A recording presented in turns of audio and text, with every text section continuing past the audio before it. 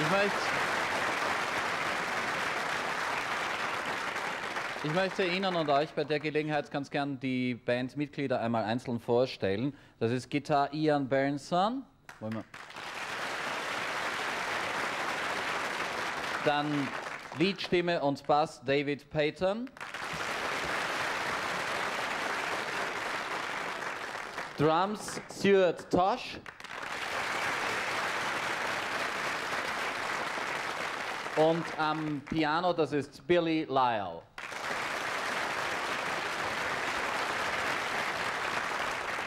Vielleicht sollten wir doch noch ein Wort über dieses Gerät hier sprechen. Das ist nämlich eine äh, ganz interessant kombinierte Elektrogitarre zwischen einer sechsseitigen und einer zwölfseitigen Gitarre. Is that very difficult to play? Ist das sehr schwer zu spielen?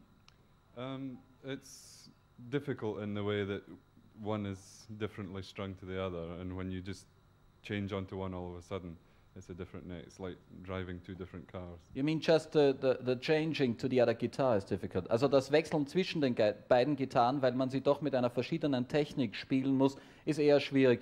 Uh, Gibt es da viele Gruppen, die mit einer derartigen Gitarre spielen? Are there many groups playing with such a guitar?